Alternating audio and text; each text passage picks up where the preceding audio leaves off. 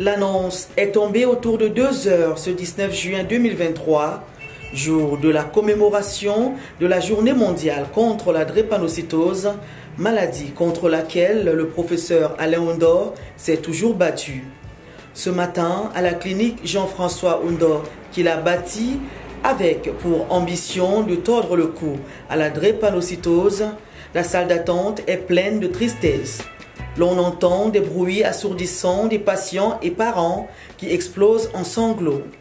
L'ambiance est insoutenable ici à Damas. Toutefois, certains collaborateurs et proches de l'illustre disparu ont bien voulu partager leur tristesse. Vraiment, c'est un drame pour euh, la nation et, et même pour le monde scientifique parce que le professeur Rondo Alain, on l'appelait le pape de la drépanocytose.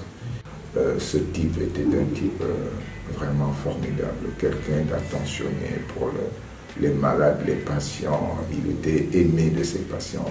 Il était toujours présent avec nous, il nous a soutenus. quand nous avions des manifestations, souvent dans l'association, euh, il intervenait. Il restera gravé pour longtemps dans nos mémoires parce que c'est quelqu'un qu'on n'oubliera pas la nouvelle a été euh, vraiment un choc, surtout pour le personnel et surtout pour nos patients. Car comme vous le savez, le professeur est,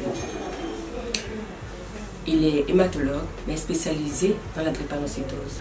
On a des coups de fil qui viennent de partout, parce qu'il y avait des mamans qui euh, commencent à perdre espoir pour la santé de leur enfant, mais on leur rassure, car le professeur a laissé euh, une équipe performante.